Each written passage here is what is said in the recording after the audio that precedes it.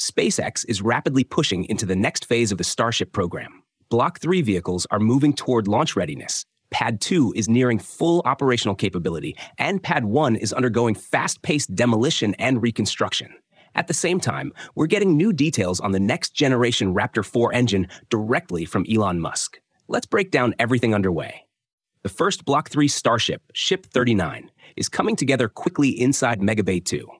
Its liquid oxygen tank has been mated with the stacked upper sections this past week, and once the downcomer, aft dome, and flaps are installed, the primary structure of the ship will be complete. Teams will then begin internal outfitting, routing hydraulic, pneumatrical, electrical, and avionic systems ahead of cryogenic proof testing.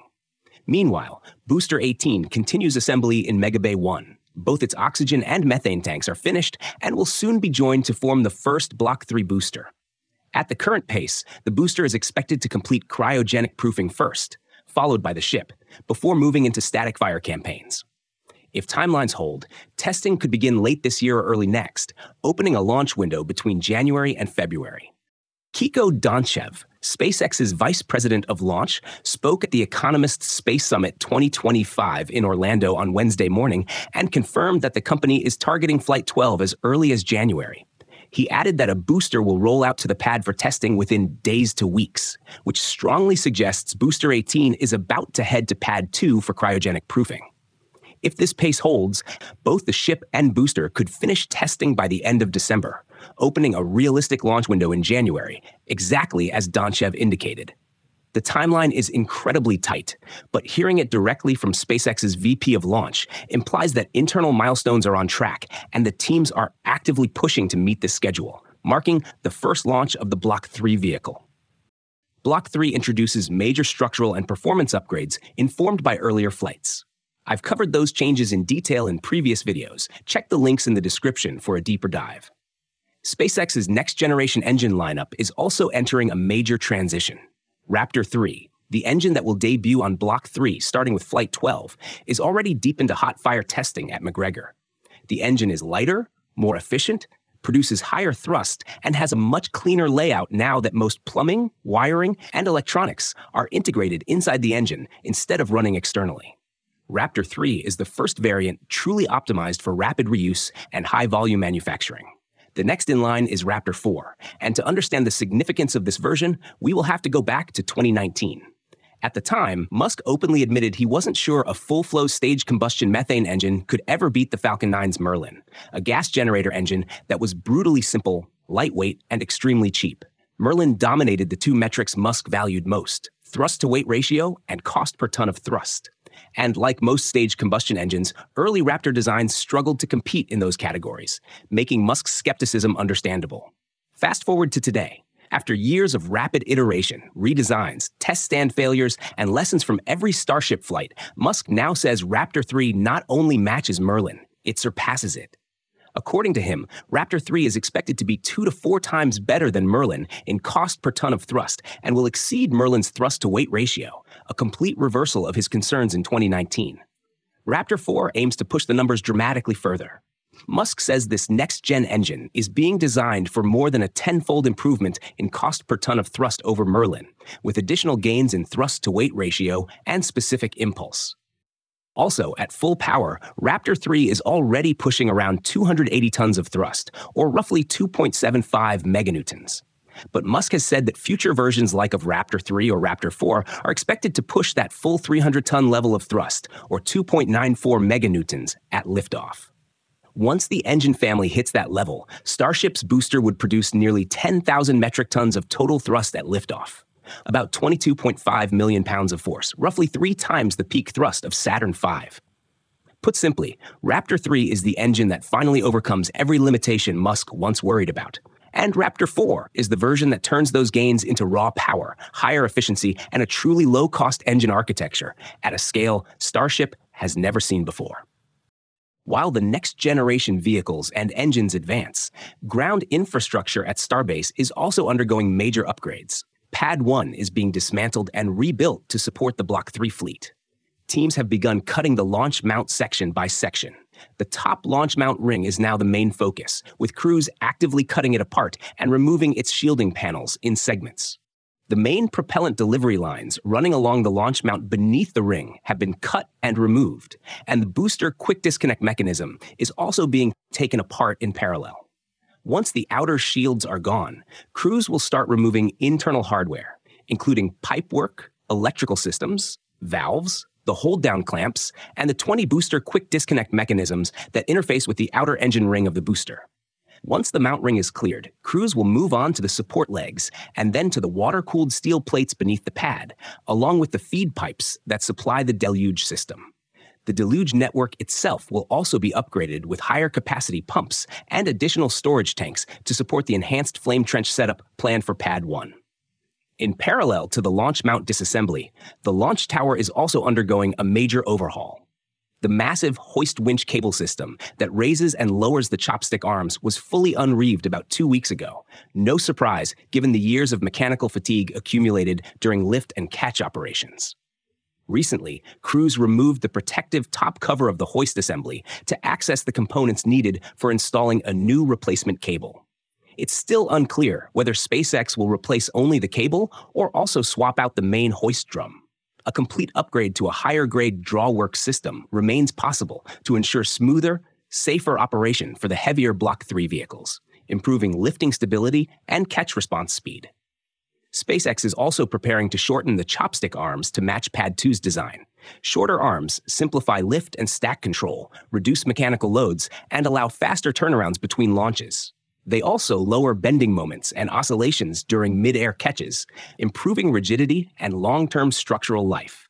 Engineers have already removed key arm systems, the hydraulic shock absorbers for booster landings, the centering screw mechanisms that guide the vehicle on the rails, and the ship lifting pins used during hoisting. All will be replaced with upgraded Block 3 compatible hardware.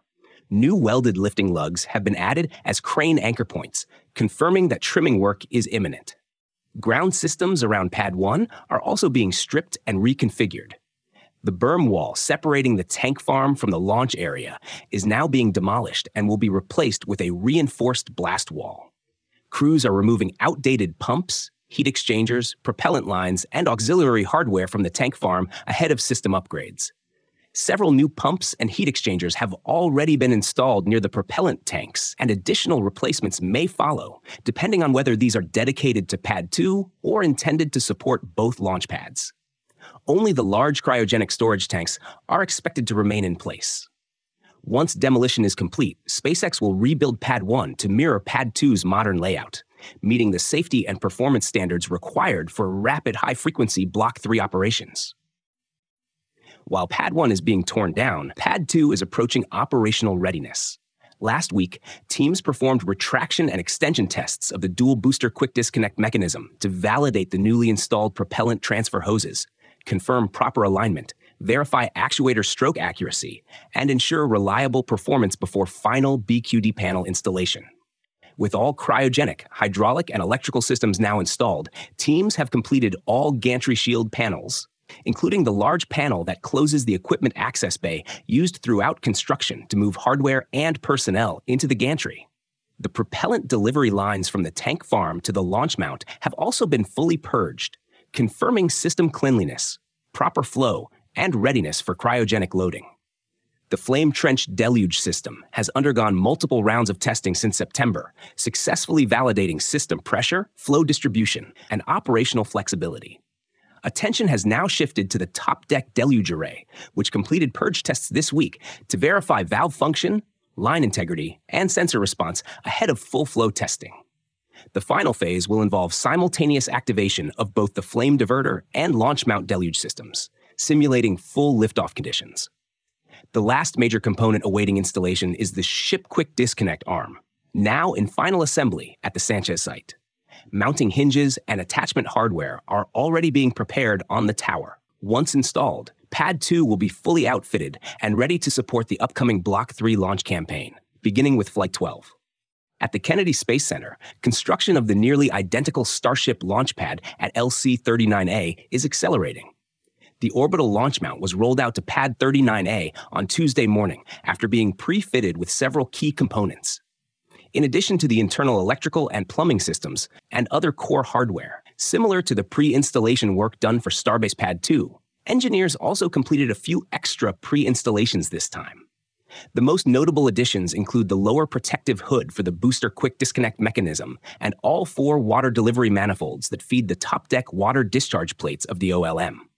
The entire OLM assembly is expected to be lifted onto its support legs around the flame trench in the coming days.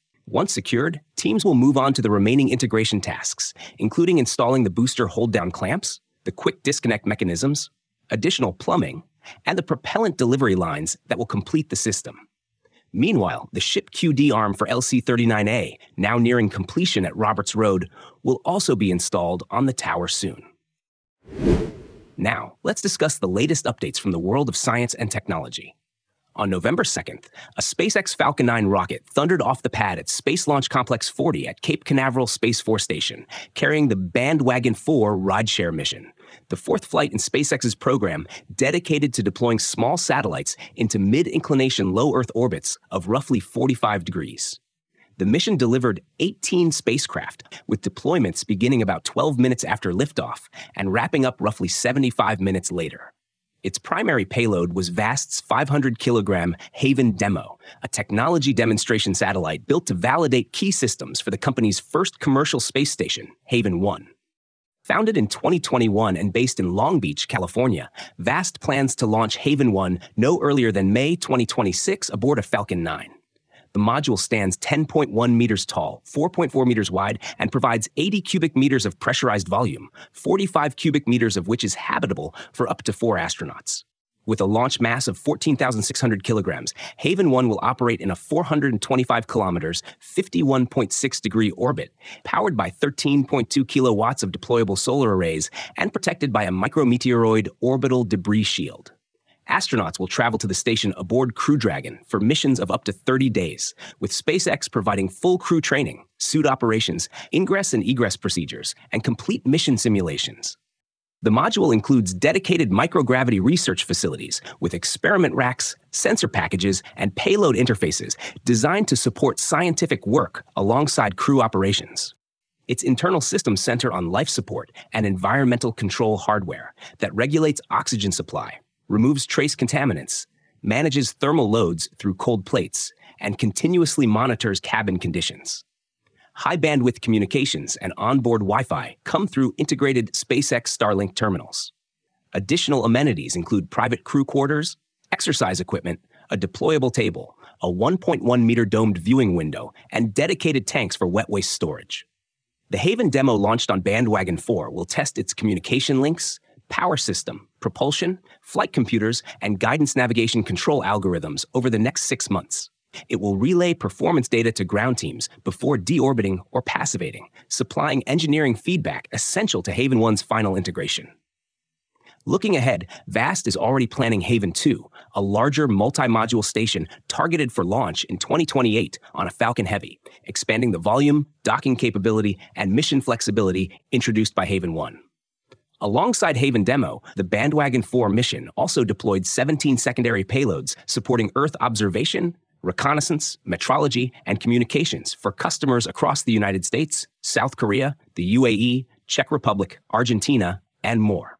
For the full list and detailed descriptions of all the payloads, please check the links included in the description below. Thank you for tuning in for the latest science news and Starship updates. If you enjoyed this video, please hit the like button leave a comment, and share it with your friends. Also, don't forget to subscribe to the channel and turn on notifications so you never miss an episode.